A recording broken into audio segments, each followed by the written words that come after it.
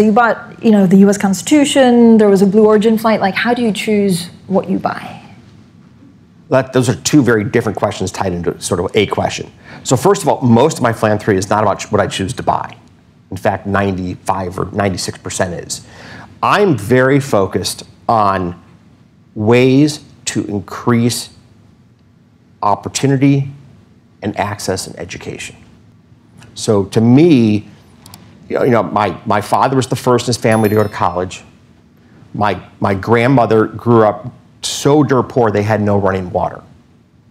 And what has, what has made my life possible is my access to education. Went to a public high school in South Florida, had the opportunity to go to Harvard, started Citadel after college. You know, that is, that is a story of the power of education. And so have been very committed to initiatives that open the doors of education to as many as possible.